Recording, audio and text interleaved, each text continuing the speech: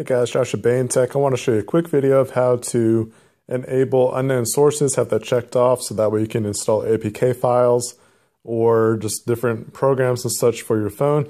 I am using the Note 3, but this applies to pretty much any Galaxy device and the same concept, the different menu styles for other Android devices, but you should be able to get it if uh, you just follow this simple procedure. So go to your general settings and locate the security tab and then scroll down and you'll see unknown sources and you're going to want to make sure that is checked off.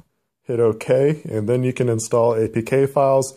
And I would also make sure that verify apps is unchecked.